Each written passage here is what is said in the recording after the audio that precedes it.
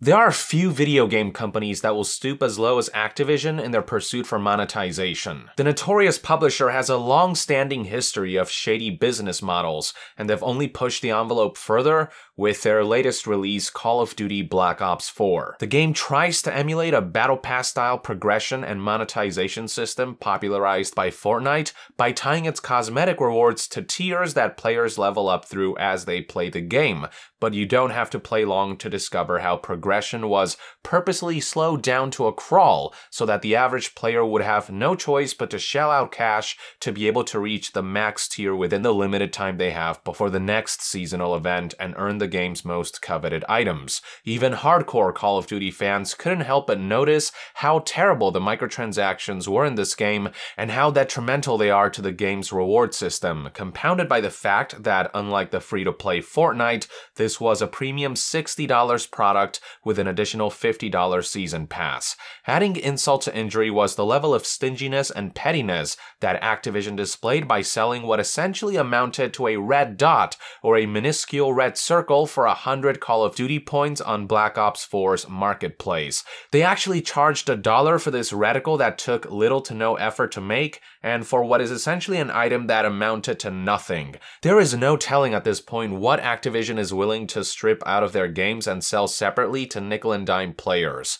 Beyond stingy forms of microtransactions, something else that's got the gaming community riled up is an addition that was made to Black Ops 4 in a recent update. The following information was first conveyed by Reddit user Nightmire, who posted the following image showing new icons that were added to the game.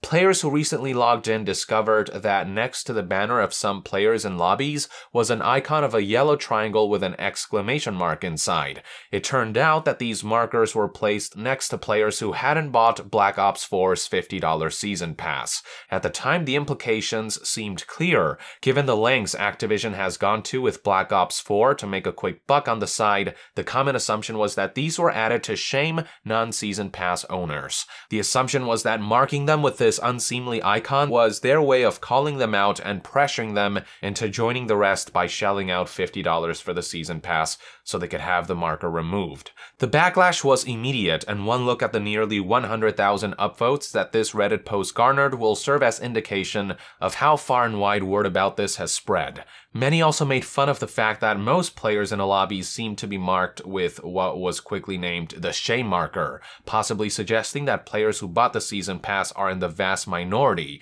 Others also poked fun at the notion that anyone could consider not buying Black Ops 4's dreadful season pass something to be ashamed of, with many touting how the marker is actually something players should be proud to wear. Now, while the narrative of the shame markers continued to spread in the hours following this Black Ops 4 update, Treyarch Treyarch eventually took to Reddit to provide a response to the backlash and make an important clarification. Their statement reads as follows This was a bug that's being fixed in an upcoming patch and should no longer show up. These triangles are only meant to display in parties, not public lobbies, next to a party member's name if they don't have all maps installed, to let your party know why some maps aren't appearing in rotation.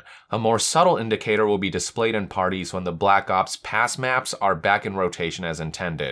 In other words, this whole debacle turned out to be a misunderstanding caused by a bug. The markers are supposed to only appear in private when you're grouped up with your friends in a party so you can be aware of who owns the season pass and who doesn't for matchmaking and map rotation purposes. But by mistake, they ended up showing up in public lobbies, leading to presumptions that this was some intentional way of goading players into buying the season pass.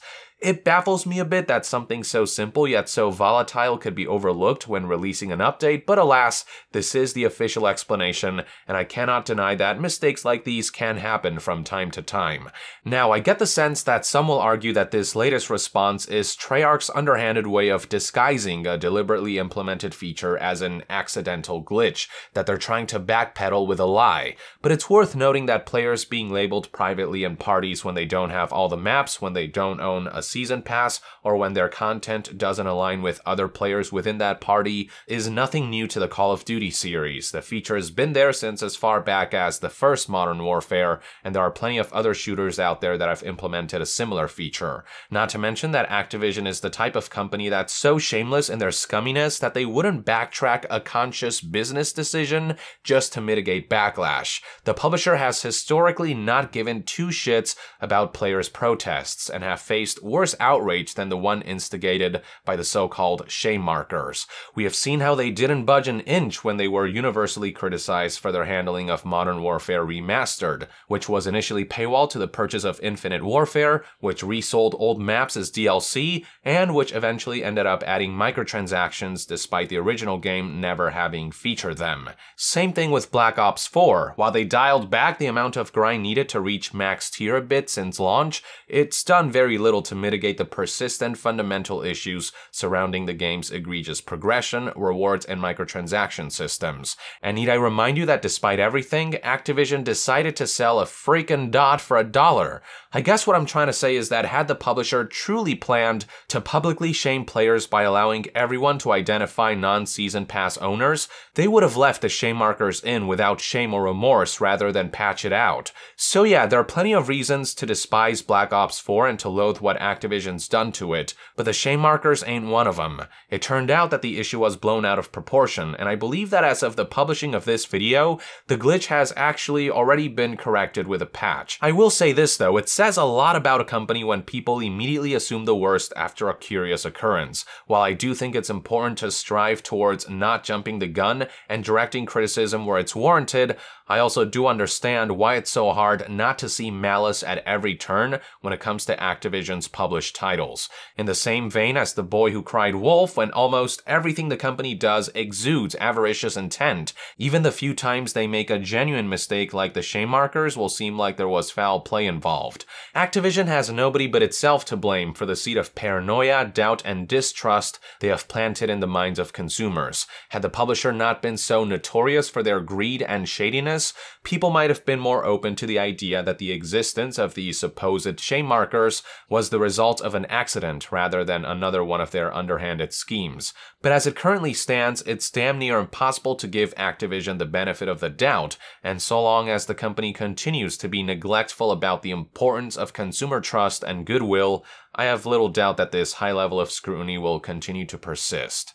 With all that said, looking at the facts we currently know, it is important to acknowledge that as far as the shame markers are concerned, Activision is in the clear. There are plenty of good reasons to criticize the publisher, but it would seem as though this isn't one of them. Or at least these are one man's take on the situation. I'd love to hear what your perspective is on Black Ops 4's latest controversy in the comments below.